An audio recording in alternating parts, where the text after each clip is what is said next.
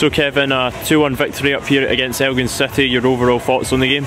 Oh, I mean, you know, we've, we've dug in today, but you know, I think the second half in particular, I've got to say Elgin were the better side, you know, um, they had us on the ropes, they pinned us back, they opened us up and they should have scored, you know, they were a bit wasteful.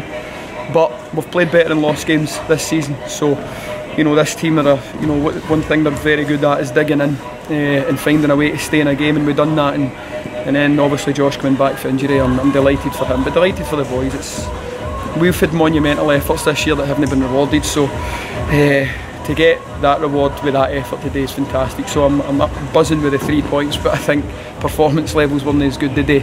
Um, but we'll take the three points every time pleasing that we did create a lot of chances throughout the game. Aye, aye, you know, I, I just think our quality in the ball, our decision making at times wasn't great.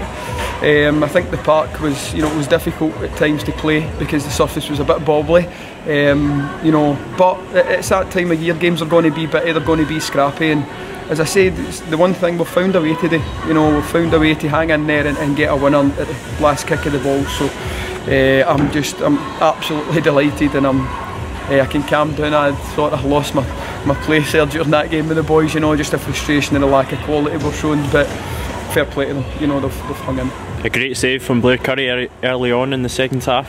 Aye. Yeah, Blair's influence in this team, you know, grows by the week, you know, and that's not because he's he's saving five and six and seven shots. It's because he turns up in the big moments uh, along with other players, you know. Um, but everybody to a man today, effort and desire, 10 out of 10, you know. But I'm sure if we were to sit down all the boys and ask them, I'm sure they would all say they can play better. But uh, the chances were there.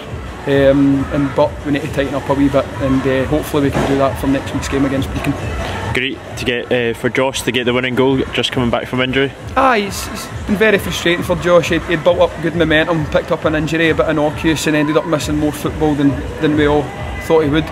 So you know he's came back, he's back with a bang uh, and he's announced himself back in. So, you know, it's another player to give me a headache. It's a good headache to have, and you know, we'll have Darryl Duffy back as well next week. So, I've got some really big decisions to make now between now and then, and you know, we'll rest up. We'll sort of patch patch the boys back together. Obviously, we're missing a few bodies today, so you know, it's vital that we, we rest and recover. And, uh, and as I say, full focus now on Brechin for me. The boys will have their moment in the way home, I'm sure. But uh, for us, it's going to be about you know preparing for, for the game next week.